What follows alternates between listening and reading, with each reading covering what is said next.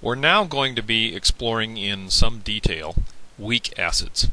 Most acids are weak. And when we say a weak acid, we mean that it's not even close to 100% ionized. For a weak acid, we would write an ionization equation with the two-headed arrow, and we could write what's called an acid dissociation constant, which we symbolize Ka, which is simply the equilibrium constant written for this equation for a weak acid. As with all equilibrium constants, we write products over reactants.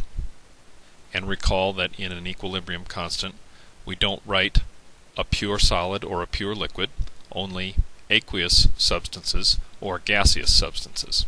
And for weak acids, all the species are aqueous, so we have the two product species, the H plus and the X minus, the anion, in the numerator, and then we have the neutral acid in the denominator.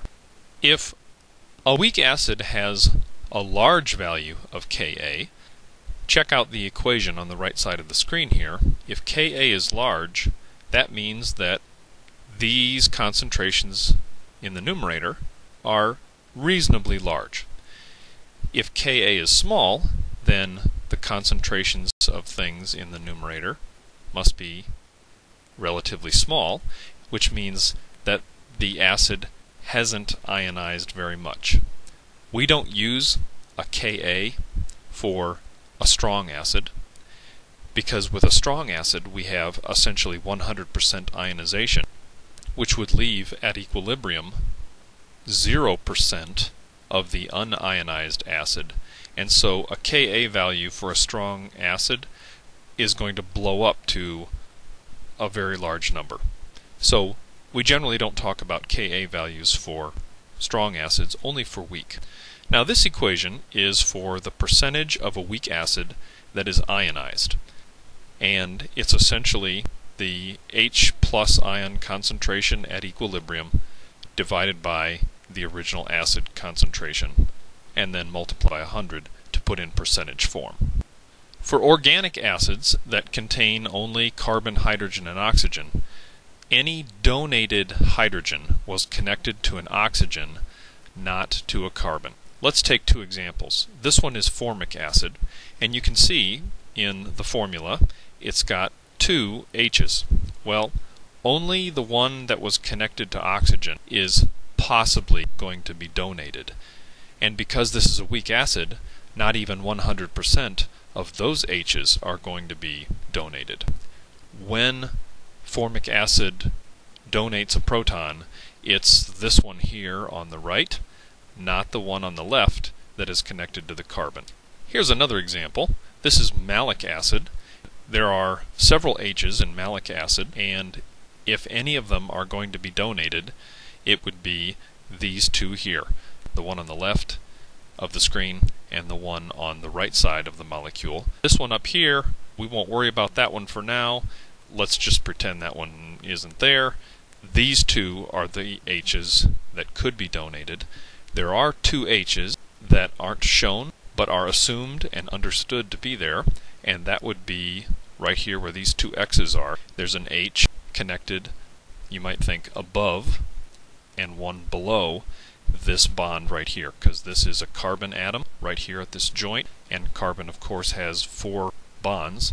So one bond is shown another bond is shown and then the last two are connected to H's unless we show them otherwise. Those two H's will not be donated only H's that are connected to oxygens.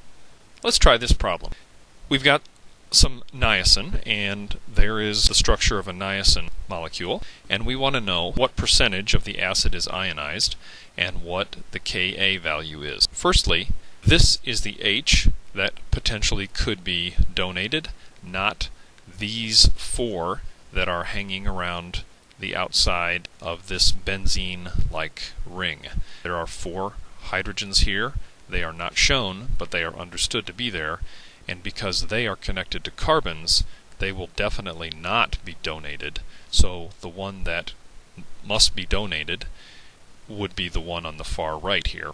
And of course, because this is a weak acid, not very many of those even will pop off. Let's start with the definition for percent ionization. We can calculate the numerator of that expression because the hydrogen ion concentration at equilibrium we can find by taking 10 to the negative pH. I trust that you have covered that in earlier studies of chemistry, so I'm not going to go into detail on that, but that's how you find the hydrogen ion concentration. If you know the pH, you take 10 to the minus pH. The denominator is simply the original acid concentration, which is 0.02. Put that in percentage form, and you have 2.7% ionized. You can see that this weak acid is not even close to being 100% ionized. The second part of this problem wants us to determine what the Ka value is.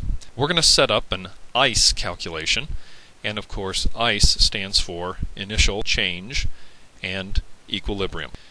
Now I don't want to write the formula out for niacin nor for its conjugate base, so I'm just going to write the word niacin and conjugate base. I'm going to put a little minus here, and as long as we keep straight what we're doing, there's no problem in doing that. The initial concentration of niacin is 0.02. We're going to assume that the initial concentrations of the H plus and the conjugate base, anion, are zero. The niacin concentration will go down by some amount. The hydrogen ion and the conjugate base ion will go up by some amount, x.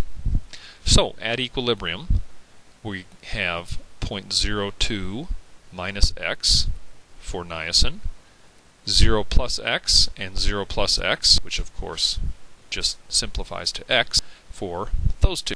And then we need to somehow determine what the Ka value is. From our given information, we actually know the concentration, or we can figure out the concentration of the hydrogen ion because we were told what the pH is. And so the value of x is actually right here, 5.5 times 10 to the negative fourth, which means this last line in our ICE chart, which is what we use along with Ka, simplifies to what I've written down here, three-fourths of the way down the screen. 0.02 minus 5.5 times 10 to the negative fourth gives this value right here, 0.01945, and there's our 5.5 times 10 to the negative fourth, and there it is again. And so the Ka value is simply products divided by reactants. Well, we have these two in the numerator, and the 0.01945 in the denominator, and we can calculate the Ka value for niacin. Let's summarize weak acids, Ka, and percent ionization.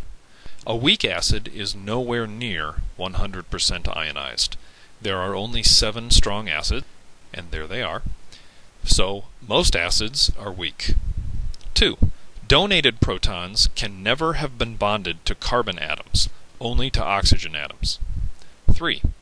In earlier studies of chemical equilibrium, we met the equilibrium constants Kc, Kp, and Kw. In this lesson, we met Ka, which is simply the Kc for the specific case of the ionization of a weak acid. As with all equilibrium constants, Ka is expressed products over reactants. And 4. The equation for calculating the percent ionization of a weak acid is right there in yellow.